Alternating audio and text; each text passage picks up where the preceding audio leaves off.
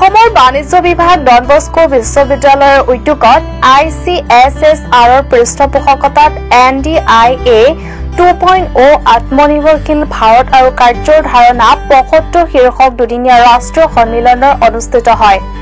উদ্বোধনী অধিৱেশনত বিভিন্ন ক্ষেত্ৰৰ বিশিষ্ট ব্যক্তি আৰু বিশিষ্ট নেতাসকলে শোভা বঢ়ায়। উদ্বোধনী অধিৱেশনৰ আৰম্ভণিতে ডঃ জোছে পেলেলিয়ে গুৱাহাটীৰ অসম ডনবস্কো বিশ্ববিদ্যালয়ৰ উপাচাৰ্যৰ গুৰুত্বৰ ওপৰত আৰোপ কৰি অসম ডনবস্কো বিশ্ববিদ্যালয় Guwahati pro vice chancellor Joseph নেলানাতে আদৰণি ভাষণত আলোচনা কৰাৰ লগতে বিশিষ্ট ব্যক্তিসকলক সম্বৰ্ধনা জনায়। অসম ডনবস্কো বিশ্ববিদ্যালয়ৰ গুৱাহাটীৰ বাণিজ্য বিভাগৰ মুৰব্বী ডঃ বিজুমণি দাসে সন্মিলনৰ বিষয়ে আৰু বাণিজ্য বিভাগৰ চমু ইতিহাসৰ বিষয়ে আলোচনা কৰে।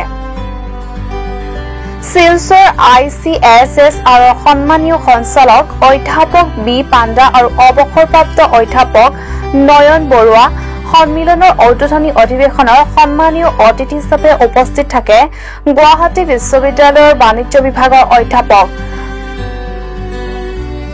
বিশিষ্ট শিক্ষাবিদ গুৱাহাটী বিশ্ববিদ্যালয়ৰ প্ৰাক্তন উপাচাৰ্য আৰু তেজপুৰ বিশ্ববিদ্যালয়ৰ প্ৰধান উপাচাৰ্য অধ্যাপক অমৰজ্যোতি চৌধুৰী মুখ্য বক্তা গুৱাহাটী বিশ্ববিদ্যালয়ৰ পৰিচালনা বিভাগৰ অধ্যাপক মনীন্দ্ৰ কাকতিয়ে তাৎপৰ্যৰ ওপৰত আলোকপাত কৰে।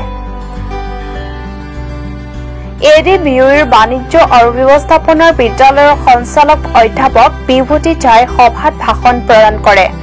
উদ্বোধনী অধিৱেশনৰ সামৰণি পৰে এ ডি বি ইউৰ বাণিজ্য বিভাগৰ সহকাৰী অধ্যাপক তথা সন্মিলনৰ সহ আহ্বায়ক ডঃ জুৱেল ময়ূৰ ফুকনে ধন্যবাদ জ্ঞাপনেৰে।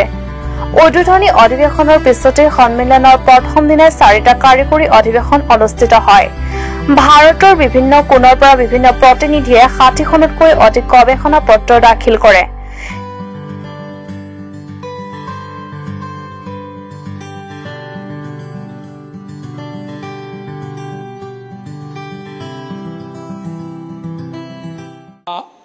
অসম ডনবস্কো বিশ্ববিদ্যালয় আজাৰা কেম্পাছত আমাৰ বাণিজ্য বিভাগৰ অধীনত আজি দুদিনীয়াকৈ তেৰ চৈধ্য অক্টোবৰত I C S S R sponsored এখন দুদিনীয়া ৰাষ্ট্ৰীয় সন্মিলনীৰ আহ্বান কৰা হৈছিলে।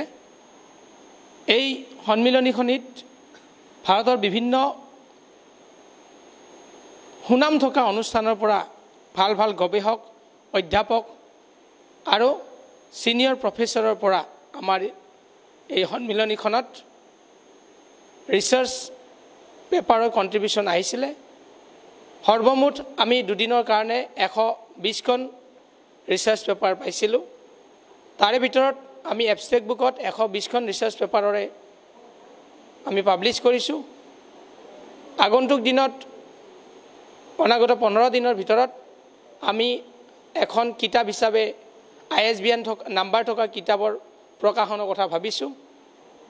এই চেগতে মই আমাৰ ডনবস্কো বিশ্ব অসম ডনবস্কো বিশ্ববিদ্যালয়ৰ আমাৰ পৰিচালক সঞ্চালকসকলক আমাৰ management father V C Jose Pelleli pro' vice chancellor father Joseph Nalanath registrar doctor Johny Jose our director school of commerce and management my colleague doctor Jewel Mayur Phukan ফুকনৰ লগতে doctor Harajyoti Kalita লৱকেশ Nath আৰু আন গোটেইবিলাক টীম মেম্বাৰে গতানুগতিকভাৱে অহৰহ প্ৰচেষ্টাৰ ফলত আমি দুদিনীয়া অনুষ্ঠানটোৰ আজি সামৰণি পৰিছে।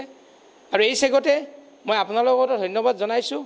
আপোনালোকৰ জৰিয়তে আমাৰ এই সন্মিলনটিৰ যিখিনি ভাল কথা আলোচনা হৈছে সেই কথাখিনি যাতে সকলোৰে মাজত পৰিচিত হয়। আগন্তুক দিনত বিভিন্ন অনুষ্ঠান প্ৰতিষ্ঠানে এনেধৰণৰ কাৰ্যসূচীবিলাক পতাৰ কাৰণে আগ্ৰহী হৈ আহে। আৰু সেই চেগতে বাকী ৰিচাৰ্চ গৱেষকসকলেও যাতে এটা নতুন উদ্যমত আগবাঢ়ি গৈ ৰিচাৰ্চ পেপাৰবিলাক লিখি এটা সমাজক নতুন অৱদান যোগায় আমাৰ গৱেষণাৰ দিশটো অলপ অগ্ৰগতিৰ ফালে আগুৱাই লৈ গৈ আমাৰ দেশখন এখন সৰ্বশ্ৰেষ্ঠ দেশ হিচাপে আমাৰ গোটেই পৃথিৱীৰ ভিতৰত যাতে প্ৰতিপন্ন কৰিব পাৰোঁ তাকে আমাৰ সকলোৰে আহ্বান জনাইছোঁ। আৰু ইয়াৰ লগতে আমাৰ থিমটোৱে আছিলে India two point zero' ideas of self reliant Bharat and actions at the rate seventy five year মূল অৰ্থটো হৈছে আমি সকলোৱে স্বনিৰ্ভৰশীল হ'ব লাগে আৰু স্বনিৰ্ভৰশীল হ'বলৈ নিজে হাৰ্ডৱৰ্ক কৰিব লাগিব কঠোৰ পৰিশ্ৰম কৰিব লাগিব। কঠোৰ পৰিশ্ৰমটো আপোনাৰ সকলো দিশতে হ'ব পাৰে। আপোনালোকে যেনেকৈ দিন ৰাতি নোহোৱাকৈ ৰাতি নোহোৱাকৈ আপুনি পিছে পিছে দৌৰি থাকে যিকোনো ইনফৰ্মেশ্যনৰ পিছত সেইটো এটা কঠোৰ পৰিশ্ৰম। ঠিক তেনেকৈ আমাৰ গৱেষকসকলে এটা নতুন বিষয়ৰ ওপৰত গৱেষণা কৰাৰ কাৰণে কঠোৰ পৰিশ্ৰমৰ অন্তত এটা ভাল যদি ৰিজাল্ট আহে আৰু সেই ৰিজাল্টটোৱে সেই আউটকামটোৱে আমাৰ দেশখনৰ কাৰণে সমাজখনৰ কাৰণে উন্নতিৰ চাবিকাঠি হৈ পৰিব বুলি মই আশাবাদী। এইখিনিয়ে কৈ মই আপোনালোকক ধন্যবাদ জনাইছোঁ। সকলোকে ধন্যবাদ জনাই মই সামৰণি মাৰিছোঁ। নিউজ ডেস্ক ৰিপৰ্ট সময় অসম